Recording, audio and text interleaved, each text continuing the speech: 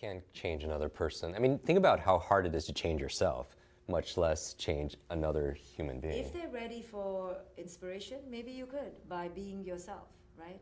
But you cannot ask them to change and expect them to change because you've changed.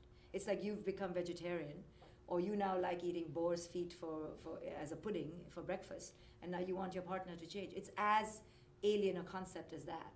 Um, but consciousness allows you to understand that we are not meant to all change at the same pace. And when you realize that, this is what I teach in conscious parenting that each being is here to evolve exactly when they're ready. You just gracefully let go. You release it. That's the work of consciousness. It teaches you to release expectations. That's the first thing you learn in consciousness.